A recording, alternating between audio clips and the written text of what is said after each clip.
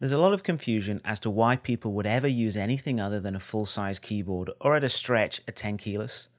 Some people don't want to have to access home, end, or the arrow keys through a layer, and some people seem to think that it isn't possible to use those keys on a 60% board at all. Let's clear up some of the confusion. On a poker, you can in fact access most of the keys that you can on a full size keyboard, similar to the way laptops use a function key for things like brightness and volume control on fully programmable boards, you can access all the same keys. So if you always use scroll lock, you can put that on the default layer if you like. You okay, so maybe you get the whole layers thing and you understand that even though you can't see any keys labeled with arrows, those boards do have that functionality.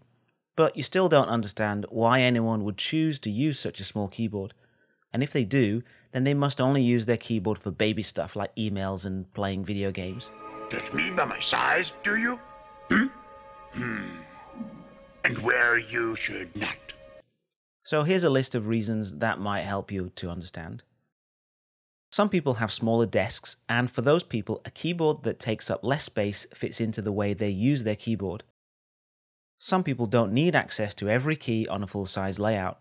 They'd rather not have them there at all, some people like these boards because they can take them anywhere and still enjoy the feel of a mechanical keyboard that works just the way they like it. Having more functionality closer to the home rows means that you don't need to move your hands away from that position so much. The arrow keys are right there around the home row using those wonderful function layers. 60% boards look sweet, admit it, they just do. Even people that don't or won't use them admit they are cool. Take a look at all the cool 60% keyboards in my series This is my 60 for proof. Because many 60% boards have standardized around the size and PCB layout of the poker, there is a lot of choice for customization.